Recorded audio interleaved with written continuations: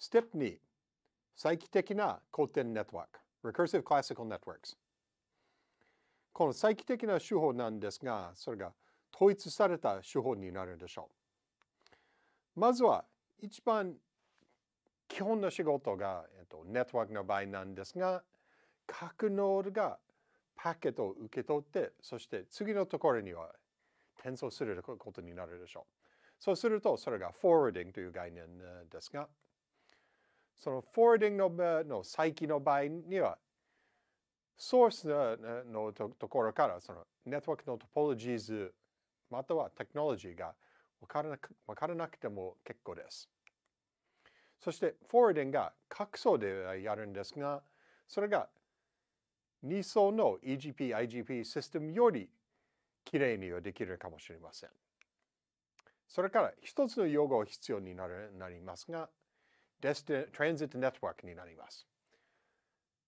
経路があるでしょう。そのコネクションの経路ななんですが、えっと、ソースと destination、その目的地は入ってはませんネットワークを通る場合がありますよね。その通ることはそれが transit ということ。そしてそれがトランジットネットワークとと言います。そしてこの最近の場合にはそのトランジットネットワークをまとめてそれが一つのネットワーク、一つのネットワークノードにすることは可能になります。例としてはこれがネットワークになっているなんですが、この雲にあるものすべては一つのノードだけには表示すれば十分になります。そしてそれがもっと大きな場合には例にするとこういう形になります。例えばソースはそっち側にあって destination はこっちにあるんですがこの真ん中の雲を通るだけでこれが transit network になります。そうするとソースがその次のネットワークにに行く入り口、出口、これがゲートウェイなんですが、そのゲートウェイのところが分かる分からなければなりませんが、トランジットネットワークの内部のことは分からなくても結構です。そしてこれが最近のネットワークになりますので、もしかしてこのノードは一つのノードだけじゃなくて、それもネットワークになる可能性があります。そしてもう一回このノードがもしかしてそれもネットワークになるかもしれません。そうするとこれが3層になってるんですね。さて、これがアルゴリズムとしては説明したいと思いますが、各ノードがパケットを取る、と、受けると、どんな処理しなければなりませんということはしなちょっと説明したいと思います。まずは、これが関数の定義になります。deliver、えっと、data source destination。そしてこれがまあ基本的に次のところには転送したい、forwarding したい場合にあります。それからこれが関数なんですが、もしかしてそのもらっているデータをちょっと処理するかもしれません。そうするとデータがニューデータになるかもしれません。それから、まずはこれが自分のパケットになるかどうか、これが僕もらっていいんですか？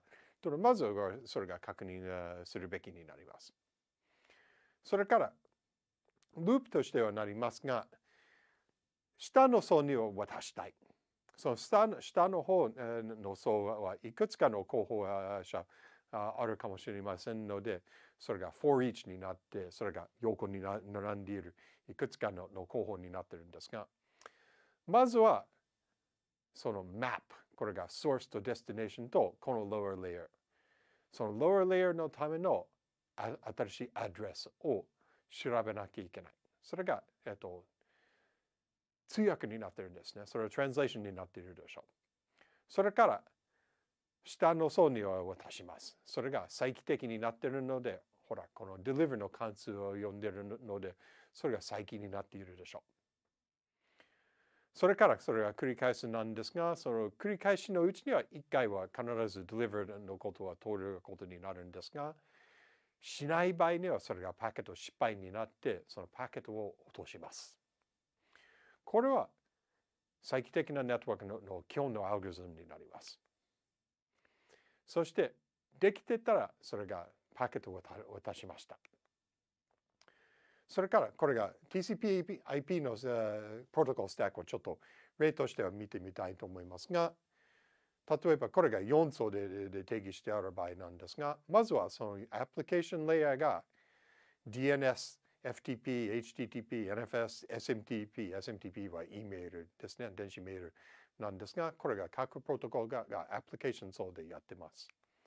それから正しく転送するためには TCP、UDP などがあるありますし、そして IP レイヤーには IPv4 あるいは IPv6 があるんですが、まあ、例えばタヌルを IPsec で作っているタヌルを取る場合もあります。そして下の方には Network Access Layer で、それが、まあ、リンクレイヤーとのとのも呼んでるんですが、それが Ethernet、無線 LAN などいくつかがあるんでしょう。で、これが4層になってるんですが、これが統一されて調整可能なことにはすると、調整にはすると、これがネットワークのスタックにはには再起にもできるようになります。そして、その RNA ということがそのそのあの調整可能な形で作られているので、この各プロトコルを実装することは可能になります。でこれは、えっと、